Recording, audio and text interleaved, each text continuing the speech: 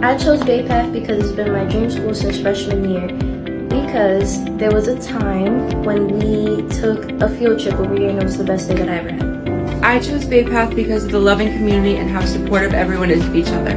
I chose Bay Path because of the softball team and how nice the girls are. I also chose Bay Path because it's it has a safe campus and it's very quiet out here which I can focus on my academics.